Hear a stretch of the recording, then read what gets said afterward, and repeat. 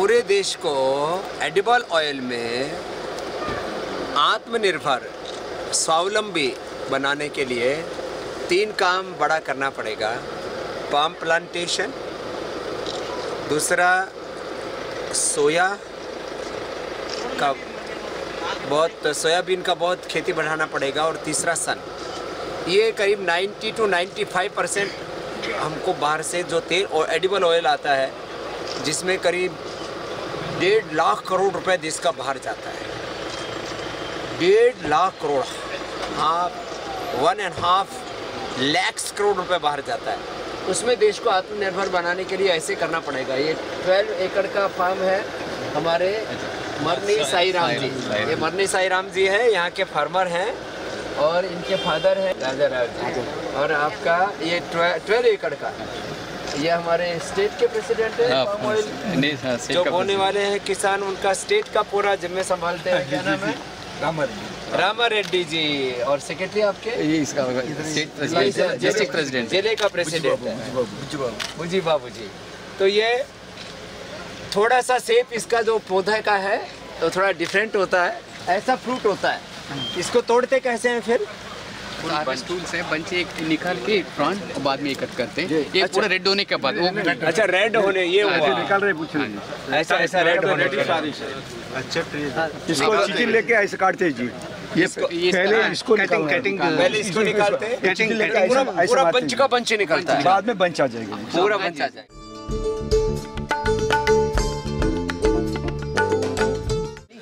और ये ये रेड है। ये वाला है राइपन राइपन हो गया अभी। हार्वेस्ट करने के लिए। अब ये ये कट करके हमारा इधर ट्रांसपोर्ट करते हैं ट्रैक्टर में हम प्लांट को। और ये ये ये थोड़ा थोड़ा कम रेड है। वो अलग है ब्रीड ये ब्रीड अलग रहती ब्रीड अलग है। फिर ये ये है है ये जो कट करने के नीचे जो गिरते हैं पूरा लेते हैं समझ जी। ये हाँ। हाँ इसमें तेल ऐसे ऊपर में रहेगा ऐसे है तो आपका ऊपर वाला इसमें अच्छा तेल ऊपर आता है? हाँ ये वाला। जो कट करे तो ये जो है ना सी पी ओ हाँ ये हाँ ये तेल है अंदर तो सीड होते हैं और सीड का क्या फिर? वो कर्नल वो आप बोल समझिए वो कर्नल वो कोकोनट जैसा रहेगा हाँ। तेल का सीड इसके ऊपर भी तेल है अंदर भी अंदर भी अंदर भी तेल दोनों तरीके तो ऊपर वाला जो तेल है वो जो है उसको पाम ऑयल बोलते हैं पाम ऑयल बोलते हैं। जो अंदर जो तेल होता है कैनल तेल कैनल ऑयल कैनल ऑयल बोलते हैं उसको। ये एकदम नारियल तेल जैसा होता है। तो दरअसल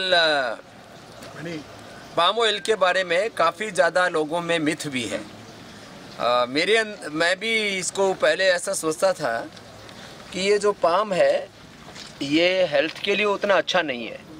लेकिन इसको यदि पूरा डीपली देखेंगे तो इसमें भी अभी कई क्वालिटी बनने लग गया है। अभी तो इसका भी अ, पीछे मलेशिया से लोग आए थे। हाँ, वो दिखा रहे थे उस। उस- उसमें इधर कल्टिवेशन है वो तो बोल के बोला था। फिर भी अभी पूरा हम अच्छा कल्टिवेट को मलेशिया के ज़्यादा हम कल्टिवेट कर रहे हाँ नहीं और वो बोलता था कि इसका भी जो है वर्जिन क्वालिटी का इसका भी ऑयल बनाने का टेक्नोलॉजी है अभी अभी आगे विकसित कर रहे हैं। और इसका जो सीड है उसका ऑयल ऐसे लोगों को अवेयरनेस नहीं है कि सीड का भी जो ऑयल है वो खाते हैं। लेकिन लोग उसको नारियल तेल में मिक्स करते हैं। लेकिन उसका प्रॉपर्टी माने उसके जो पूरा अंदर का, उसका जो फ़ूड वैल्यू है पूरा वो पूरा का पूरा नारियल नारियल तेल जैसा ही। जैसे है। और ऐसे झाड़ भी नारियल तेल ये तो एक ही प्रजाति है ना? हाँ हाँ ये की फैमिली है समझिए। तो फैमिली क्या फैमिली बोलते हैं इसको palm palm palm palm palm family पूरा। तो नारियल और जो ताड़ी। ताड़ी। हाँ सब। ये सब एक ही एक ही फैमिली फैमिली है। तो चाचा ताऊ है सब ये। चाचा था ये कितने साल का हो गया ये? Seven half years to eight years Swami ji सात से आठ साल का हुआ है। और ऐसे पच्चीस साल तक चलता है पच्चीस साल तक तो ये पच्चीस साल तक चलता है। और इसको यदि देश में अब ये करीब दो लाख हेक्टेयर में है उसमें रुचि जो कर रहा है वो करीब पचास हज़ार हेक्टेयर में कर रहा है। बाकी माने करीब करीब जो है ट्वेंटी फाइव परसेंट जो शेयर है वो रुचि का है।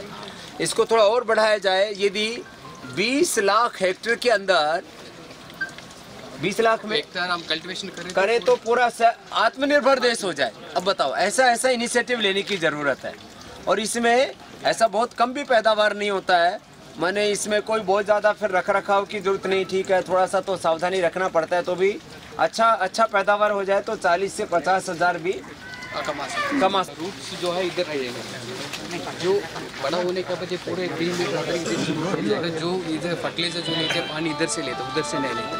अच्छा थोड़ा दूर से लेता। है है इधर से लेता। हम जो एप्लीकेशन जो न्यूट्रिएंट्स करते हैं इधर से यहाँ करते हैं। अब इसको तो ऑर्गेनिक पे भी लेके आ रहे हैं। पूरा जो है स्वामी जी जो फ्रंट को कट करते हैं ना बंच हमारा फैक्ट्री चले जाएगा जो पत्थर है ये पूरा स्मास में कट करके इधर ही चला जाएगा। ऑर्गेनिक पूरा रिसाइकिल हो रहा है।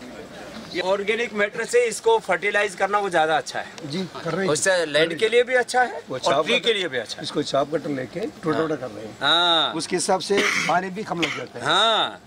और फर्टिलाइज़र फर्टिलाइज़र बन जाता है। ये बहुत अच्छा है बहुत अच्छा ये तो इसके अंदर तो मतलब पूरा गर्मी भी ज़्यादा नहीं लगता। दो तीन परसेंट टेम्परेचर कम कम हो। हो फाइव फाइव डिग्री फाइव और इसको पाम को कैसा टेम्परेचर चाहिए?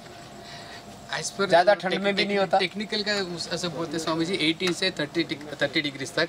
हम इधर कल्टीवेट कर रहा है minus thirteen degrees to up to 50 degrees तक। आंध्र में टेम्परेचर ज़्यादा भी हो जाएगा फिर भी ये सस्टेन हो गया। ओ general tendency up to 30 35 degrees only तो आप यहाँ यहाँ मैक्सिमम कितना चला जाता है? 45 50 तक भी चल अभी ग्रो और नीचे? नीचे इधर तो ज़्यादा नहीं है दूसरा जगह भी? में 30 इधर अब वैसे 18 जैसे नॉर्थ ईस्ट में अरुणाचल में उधर। उधर एक 80 8 टू 8 टू 10 डिग्रीज डाउन लेकिन फाइव डिग्री होगा तो नहीं चलेगा ना? ऐसे नहीं स्वामी जो ग्रोथ है वो हिसाब से नहीं आया जाएगा। हाँ। फल तो थोड़ा कम हो जाएगा। हाँ। इधर इफ़ेक्ट नहीं है क्यों? बोलते हमारे फार्मर पूरा देखभाल तो अच्छा कोस्टल एरिया में तो बहुत अच्छा हो सकता है ना? उस में आई तो सक्सेस तो आ गया हमारा कभी। पहले एक ही ज़मीन था अभी दूसरा ज़मीन भी आ रहा है। ब्लैक सॉइल भी आ रहा है और रेड सॉइल भी आ रहा है। लेकिन कोस्टल एरिया कोई इसमें ये गारंटी तो नहीं है सर हाँ। कोई कहीं भी आ सकता है। कहीं भी आ सकता है। साइल साइल का और सोयल क्वालिटी होना चाहिए। क्वालिटी क्वालिटी पानी होना। सॉइल सोयल क्वालिटी वाटर पानी ज़रूर। पानी ज़रूरत है नहीं है हाँ पानी पूरा होना चाहिए। सोयल का क्वालिटी अच्छा होना चाहिए। टेम्परेचर जो है वो 10-15 18 चलेगा। टू 36 तक। लेकिन 18 मले, to- मलेशियन टेम्परेचर के हिसाब से 35 डिग्री मैक्सिमम है सर। हाँ। लेकिन वहाँ का रेन फेड के ऊपर निर्भर करता है। लेकिन यहाँ पर तो पानी पानी चाहिए तो 45 डिग्री तक तो चलेगा हाँ चलेगा। और है जी इसमें गर्मी के टाइम में भी ज़्यादा पैदा होता है। हाँ। मई जून में पीक सीज़न है। पीक सीज़न मई जून में ज़्यादा आता है जी। अभी तो मलेशिया से भी ज़्यादा पैदा कर रहे हैं हाँ ये हमारा फार्मा खुद का ज़्यादा लेके आ रहे है ये बीच में नारियल भी लगाया है। हाँ, पुराना एक उनका घर का खेत में बचा हुआ होगा ना?